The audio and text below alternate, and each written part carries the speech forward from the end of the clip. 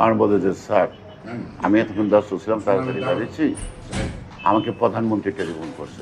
আমি তোমার টেলিফোন করব প্রধানমন্ত্রী সকাল বিকালে এটাই তো স্বাভাবিক। টেলিফোন করছে বয়স হয়ে কী হয়েছে তাড়াতাড়ি তোর চিকিৎসা করো তারে ঠিকভাবে বাসায় পৌঁছে দাও আমি যে এর আগে যেহেতু তোমার এইটা দিছিল আইনটা দিছিল ভালো করে ধোলাই দাও তারপরে হসপিটালে নাও ওইটা তো কইলা না। এটা তো কইলা না। আমার তো মনে হয় তোমার চাকরি যাওয়া উচিত। যে প্রধানমন্ত্রীর এরকম একটা শত্রু তুমি হাতের সামনে বাইরে পাইয়া কবরে পাঠাইতে পারল না।